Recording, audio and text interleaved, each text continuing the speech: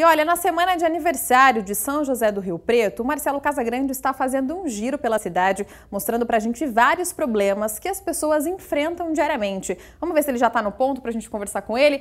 Oi, Casagrande, bom dia. Conta para a gente em qual ponto da cidade você está hoje. Oi, Jéssica, ótimo dia para você, para os amigos ligados aqui na tela do nosso SBT Interior. Hoje eu estou aqui no extremo da zona norte de Rio Preto, uma das regiões mais populosas da cidade. E olha só, viu, pessoal? O problema que eu vou ressaltar aqui hoje é sobre o transporte público. É uma região muito populosa. Por dia aí, uh, cerca de 130 ônibus circulam por essa região da cidade.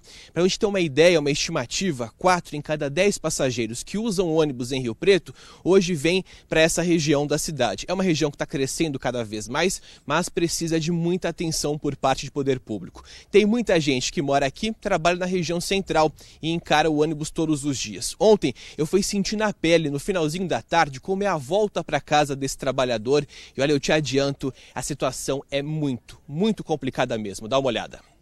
O vai e vem dentro do terminal aumenta conforme a tarde vai terminando, na tentativa de viajar sentado, o que nem sempre é possível. Tem gente que sai correndo antes mesmo do ônibus estacionar. A gente está com a Iris aqui que todo dia toma o ônibus que vai para a zona norte da cidade. Iris, como é que é andar de ônibus aqui em Rio Preto, hein? É horrível, tudo lotado, não, não tem como andar. Não tem. Eles aumentam a passagem e não colocam ônibus. Em vez deles colocar ônibus, eles tiram. Se você vê que tá cheio, tem que esperar o próximo, ficar na fila.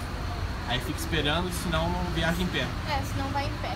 Agora são 15 para 6, a fila vai começando a se formar e esse cenário que a gente vê aqui, ó.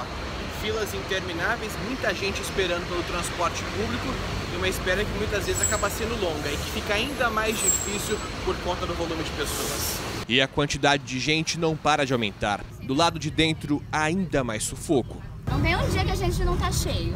E Estamos todo mundo na porta esperando. Todo mundo. Todo mundo. Cada vez que para para subir mais alguém, como mais é? Mais entra desse jeito que tá, vai entrando. Aí vai uma ficando. lata de sardinha. É, vai ficando uma, uma latinha de sardinha pequenininha. De manhã também é assim. É, por quê?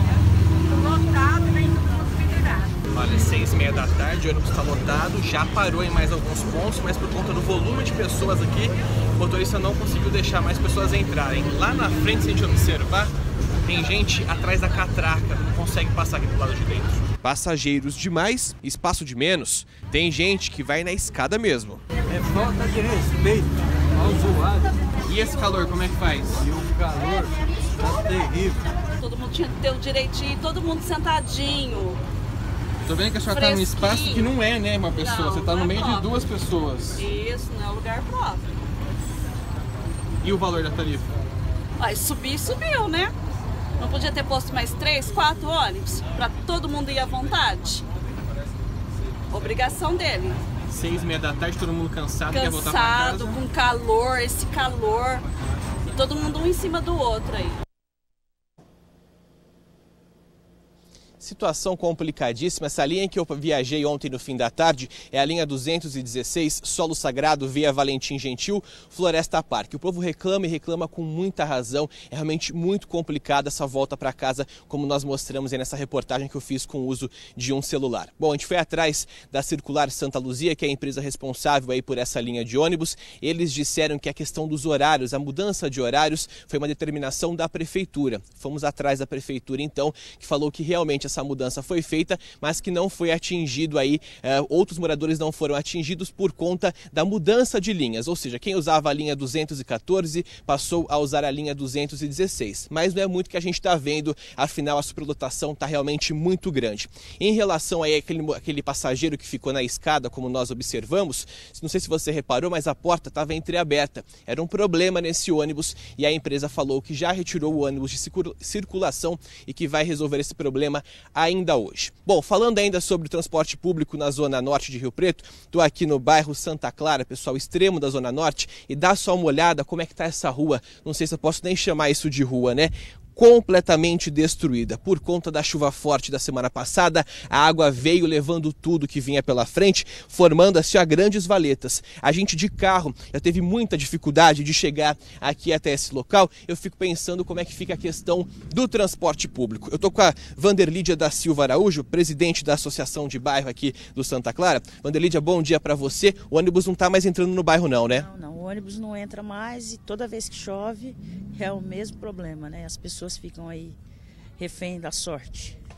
A linha entrava no bairro, fazia uma dava uma circulada aqui por esse local e depois saía do bairro. Como é que está fazendo agora para quem mora aqui no miolo e precisa é, ter acesso ao transporte público? Olha, as pessoas estão andando cerca de mais ou menos um quilômetro para pegar esse transporte.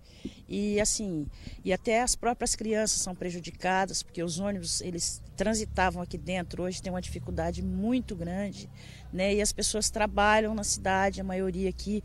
Esse bairro ele está com mais de 3 mil habitantes né? E são todas as pessoas aqui que usam transporte público né? E está muito complicado a gente vê, pessoal, é um bairro que está a cerca de 12 quilômetros aí da região central da cidade, então a chegada por aqui é bastante complicada. Então eles precisam do transporte público, não tem alternativa e não estão tendo aí como ter acesso. A prefeitura informou para a gente, vou até dividir aqui com a Vanderlide agora, falando o seguinte, que eles fazem a manutenção correta do local para tentar melhorar a questão das vias, mas que por conta das chuvas os trabalhos foram prejudicados. Eles disseram que até o fim dessa semana vem resolver.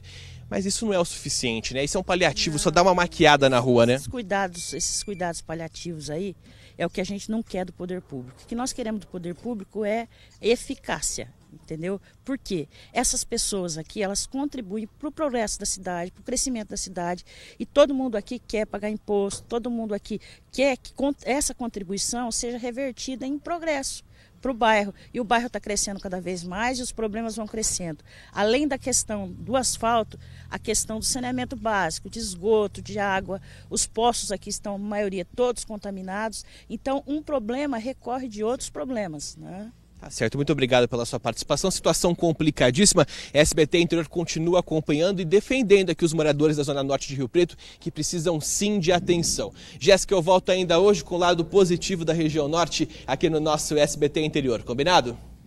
Combinado, Casa Grande. Daqui a pouco a gente te aguarda.